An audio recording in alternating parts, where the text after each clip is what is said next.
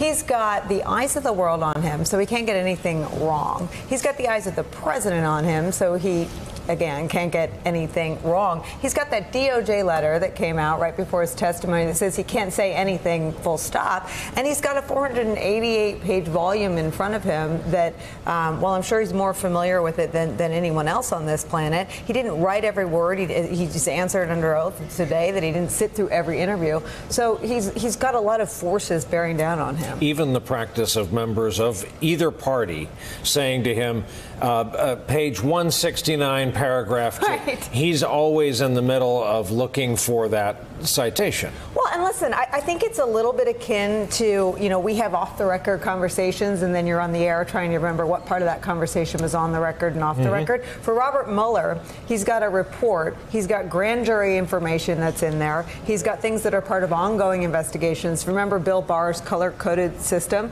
Yep. Um, you know, and, and, and, there's also, and this is on Twitter, and I'm sure you'll, you'll hear this other places, there's some performance questions. I mean, there, there is a quickness that is familiar to people that watched him. I'm sure Claire notices this. Um, in his years as FBI director, he hasn't been FBI director now for nearly a decade. So, so there, there was um, a familiar, there, there was something less familiar about today's performance than the Bob Mueller that people saw when he was FBI director. Claire McCaskill, former Missouri Democratic senator, is part of our coverage as well. Senator, your assessment thus far? Well, what you're seeing is um, really old fashioned in today's modern politics, someone being very cautious and careful. Um, you know, that's gone out the window in the era of the chaotic and incompetent administration in the White House right now. Chaos and, you know, playing games with the truth, that's the norm. And everything at a everybody's an enemy and political. That's not who this man is. This man is at his essence cautious and careful. And so uh, so much reverence for the rule of law. So his, his, him being careful looks like, in some instances, like he doesn't know the answers. But it's really, and I think one thing the Democrats are doing that is helpful is they're putting so much of the report up for him to look at that they're referring to.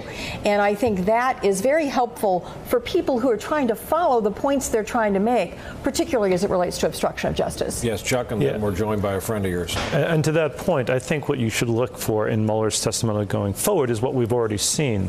That restraint sort of underscores the fact that he's not trying to get anybody. He's not trying to get anybody. so anybody. It would have been easy to say, for instance, the president lied, the president obstructed justice, I've made a referral to this committee, you ought to impeach him. He doesn't do any of that, right? What he says are, you know, when asked about a, a passage in his report, he says, yes, I wrote that. That's correct. For instance, in the Nadler questioning Nicolle, and I think you're right, I thought it was um, quite good, right? He answered honestly Nadler's questions about findings in the report, mm-hmm. but he's not trying to get anyone. And, and that's my point, Brian. Good prosecutors and good agents don't set out to get people. They set out to get facts. They set out to get the truth. And that's what you're hearing from Bob Mueller. Hey there, I'm Chris Hayes from MSNBC. Thanks for watching MSNBC on YouTube. If you want to keep up to date with the videos we're putting out, you can click subscribe just below me or click over on this list to see lots of other great videos.